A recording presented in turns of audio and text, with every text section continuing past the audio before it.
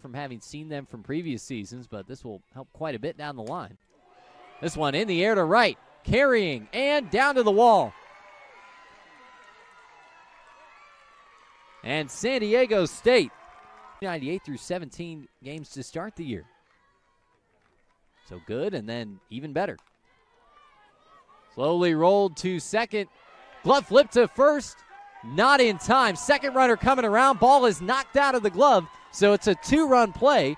And Colorado State behind Boise State and San Diego State.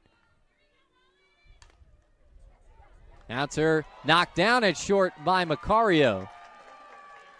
Gates will get aboard. The Rams bring in a third. Never left the batter's box after fouling that one off. Another 3 2.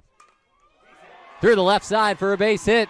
One run across for San Diego State. And the Aztecs have tied it up. Throw back to second. That'll be in time. They get Barbara for the final out of the inning after tying it up. We are going to keep it in the air, into the gap. Colorado State's going to grab the lead back. Matsubara with an RBI double, trying to stretch it out to a triple, and she'll do so. Hernandez ready for this 2 0 pitch, right back off the pitcher's glove and through for a base hit. Couple of two out RBI hits for Colorado State, make it 5 to 3 Rams. Two and two. Decker through the right side, base hit. One run across for San Diego State. They put the stop sign on for Barbara at third. And the Aztecs back within a run. It's five to four. Garcia down the left field line, base hit. San Diego State has tied it.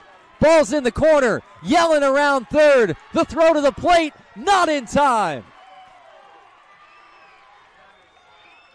Garcia trots into third, and the Aztecs have flipped the script in the sixth. They lead at six to five.